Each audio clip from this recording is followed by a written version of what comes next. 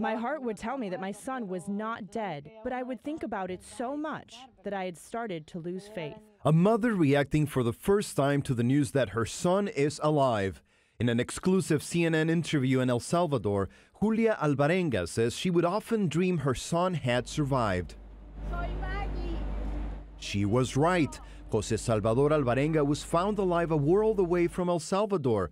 The 37 year old washed up ashore on the Marshall Islands on a small fishing boat. He told authorities in the Pacific Island nation that he had been lost at sea for 13 months. He's talked about joint pain uh, uh, several times. Uh, I know he'd like a haircut, but, uh, but he looks very good. He's, he's sharp, and um, I'm certainly no medical professional, but I think that he's in much better shape than one would expect after such an ordeal. Alvarenga says it all started when he and a teenage companion set off on what was to be a one day fishing trip off the coast of Chiapas State, Mexico, but were sent off course by a storm.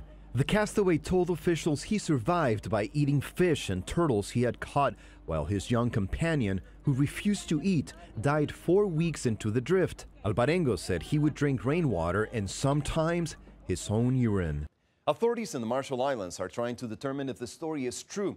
The trip from the west coast of Mexico across the Pacific to the Marshall Islands is roughly 5,600 miles or 9,000 kilometers of open ocean. Although such an amazing ordeal isn't unheard of, three Mexican fishermen survived a similar journey in 2006. Back in El Salvador, Alvarenga's father says he felt all along that his son was alive.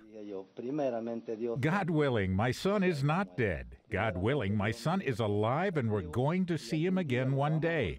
I'm very happy after learning that he's alive and that we will have him back home soon. Alvarenga's parents say they last saw their son eight years ago when his daughter was just four. She doesn't remember him, but when asked what she will do when she sees him, I will give him a hug, she says. Rafael Romo, CNN Atlanta.